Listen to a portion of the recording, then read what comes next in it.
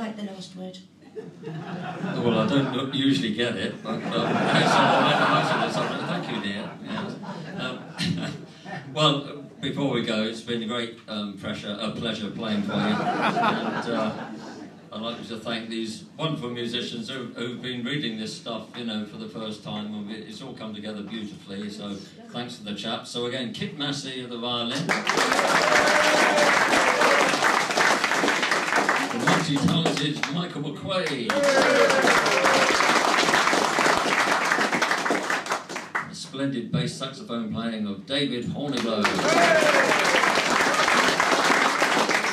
And uh, one of our greatest guitar players, Martin Wheatley.